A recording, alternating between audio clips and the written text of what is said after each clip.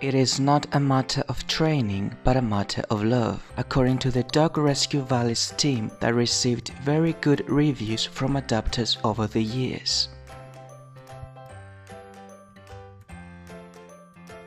Elsa, what we saved, husky dog. Was some very bad uh, duty place. And uh, look at her now. She's a completely different dog, completely different. When she came, she was so dirty, so sick, scared of everyone. And now she uh, confident, beautiful, amazing dog. A tiny stable was home to more than 300 dogs that were rescued and moved to the shelter six years ago in Cyprus. Uh, we had to find land, to find funds to build it.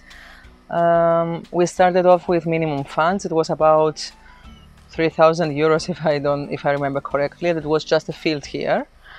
So, with a lot of devotion and hard work and support, we managed to build the shelter we have now, which we know it needs some improvements, but we are doing our best.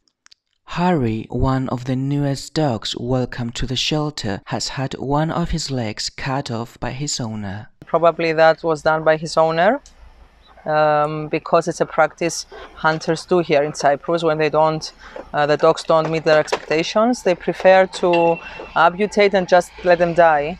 And when you see a dog in this situation and he's so happy um, and so ready to give you love, you just wonder what what's wrong with the people's mind. All dogs, almost all of them, uh, have a story like behind what is not good. Are there any everyday challenges you deal with uh, specific dogs?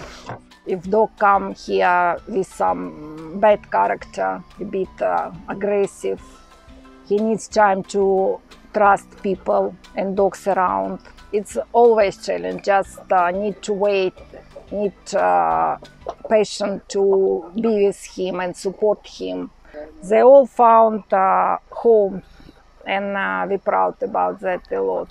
Thanks to Dog Rescue Valley, many dogs are now safe. 40 more dogs are waiting for adoption at the moment. Charles Stylianou, Hot Topics.